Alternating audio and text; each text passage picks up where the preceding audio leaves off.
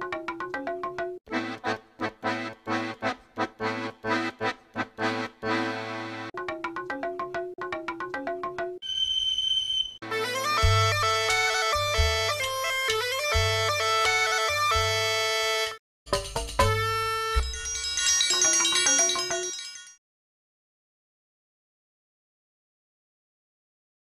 Hizkuntza bateko hotxak adierazteko erabiltzen dugun zeinuetako bakoitzari letra deitzen diogu.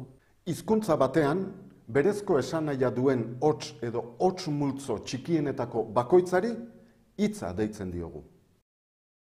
Esanai oso bat duen hitz multzoari esaldia deitzen diogu.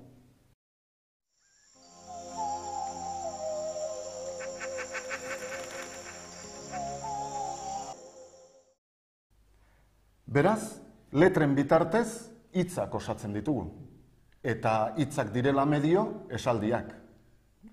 Gauzak horrela ikusita, hizkuntza puzle bat dela esan dezakegu. Eta hizkuntza gramatikaren alorrera eramaten badugu, esaldiak perpaus bilakatuko zaizkigu.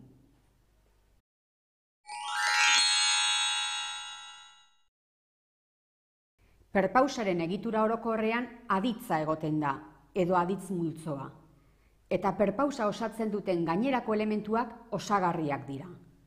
Osagarri nagusiak hauexek dira. Subjektua, objektua, predikatu osagarria eta adverbioa.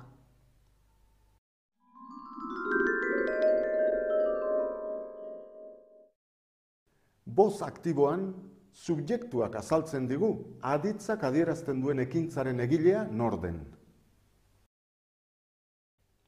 Gizonak betaurreko beltzak jantzi ditu. Nork jantzi ditu?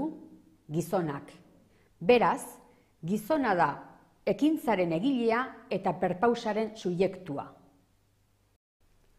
Boz pasiboan, subjektuak jasan egiten du aditzak adierazten duen ekintza. Gizona garaia eta argala da. Nor da argala eta garaia? Gizona.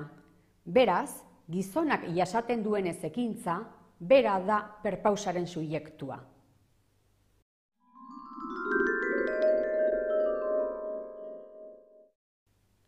Objektua aditz sintagmaren osagarria da.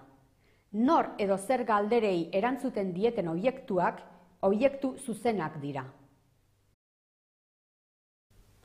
Mirenek gizonari pakete bat eman dio. Zer eman dio? Pakete bat. Beraz, pakete bat objektu zuzena da. Nori ero zeri galderei erantzuten dieten objektuak berriz, zeharkako objektuak dira. Mirene gizonari pakete bat eman dio. Nori eman dio?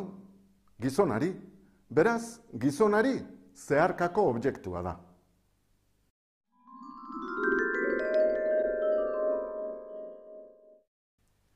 Subjektuari aditz kopulatibo baten bitartez lotzen zaion adjektiboa da predikatu osagarria. Autoa urdina da. Da aditz kopulatiboa da, eta urdina aiektiboa. Aiektibo horrek subjektuaren tasun bat adierazten digu, eta nolakoa galderari erantzuten dio. Adverbioak aditzak adierazitakoari buruzko informazio osagarria ematen digu. Gaur eguraldi ona dugu. Gaur adverbioa da, eta noiz galderari erantzuten dio.